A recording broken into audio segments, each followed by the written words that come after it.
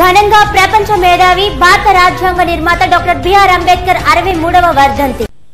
Babasaheb doctor BR Ambedkar అరవై మూడవ వర్ధంతిని పురస్కరించుకుని వైఎస్ఆర్ పార్టీ యువజన విభాగం అధ్యక్షులు ఏలూరు బాలు పూలమాలలు వేసి ఘనంగా నివాళులర్పించారు.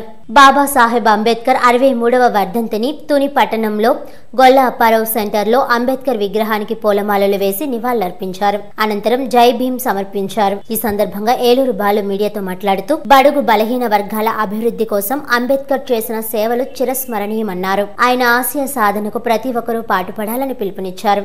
సమాజంలో అన్ని వర్గాల వారికి సమాన హక్కులు కల్పించేందుకు అంబేద్కర్ రూపొందించిన రాజ్యాంగం ఎంతగానో దోహదపడుతుందని Tuni town SSL convener Bodapati Srinu పేర్కొన్నారు ఈ కార్యక్రమంలో వైఎస్ఆర్ కాంగ్రెస్ పార్టీ నాయకులు సీనియర్ అనిశెట్టి సూర్యచక్రారెడ్డి పెట్ల కంచి కామేశ్వరరావు పామర్తి మహేష్ సింహాచలం నాగు దాసు నగేష్ తదితరులు పాల్గొన్నారు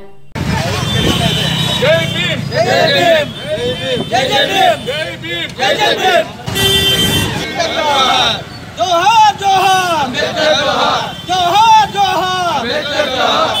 డాక్టర్ బాబాసాహెబ్ బిఆర్ అంబేద్కర్ గారి అరవై మూడవ వర్ధంతిని ఘనంగా నిర్వహించుకోవడం జరిగింది. తుని పార్టీ ఆఫీసులో గౌరవ శాసనసభ్యులు దారిశెట్టి రాజా గారు అంబేద్కర్ గారి చిత్రపటానికి పూలమాలేసి నివాళులర్పించడం జరిగింది.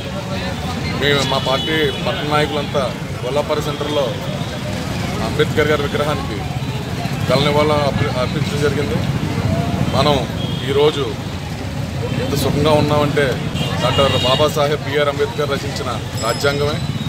రాజ్యాంగం ప్రకారం మనందరూ నడుచుకుంటే ఎటువంటి సమస్యలు ఉందో మీ అందరికీ మరొకసారి డాక్టర్ బిఆర్ అంబేద్కర్ గారి బాటలో నడవాలని తెలియజేసుకుంటూ సెలవు తీసుకుంటాం నవభారత రాజ్యాంగ నిర్మాత అయినటువంటి డాక్టర్ బాబాసాహెబ్ అంబేద్కర్ యొక్క అరవై మూడవ వర్ధంతి సందర్భంగా మన శాసనసభ్యులైనటువంటి శ్రీ దాడిశెట్టి రాజా గారి ఆదేశాల మేరకు ఏదైతే అభివృద్ధి కమిటీ ఉందో ఆ కమిటీ యొక్క ఆధ్వర్యంలో నేను గొల్లంబర సెంటర్లో ఉన్న విగ్రహానికి పూలమాల వేసి నివాళులర్పించాం ఈరోజు రాజ్యాంగంలో ఉన్నటువంటి చట్టాలు ఆ రోజు బాబాసాహెబ్ అంబేద్కర్ రాసి రాశారు. అయితే చట్టాలు మరి ఉన్నప్పటికీ శిక్షలు మాత్రం కఠినంగా ఉండాలి.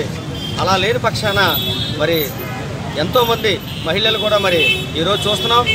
చాలా వరకు మరి అలాంటి అగాత్యాలు జరగకుండా ఉండాలంటే బాబాసాహెబ్ అంబేద్కర్ రాసిన చట్టాలతో పాటు ఈ ప్రభుత్వాలు ఏవైతే ఉన్నాయో కేంద్ర రాష్ట్ర ప్రభుత్వాలు కూడా తప్పనిసరిగా బాబాసాహెబ్ అంబేద్కర్ ఏదైతే ఆశించాడో మహిళల పట్ల దాని దాన్ని స్ఫూర్తిగా తీసుకుని తప్పనిసరిగా శిక్షలు కఠినంగా అమలు చేసే పరిస్థితి రావాలని ఈరోజు మేము కోరుకుంటున్నాం.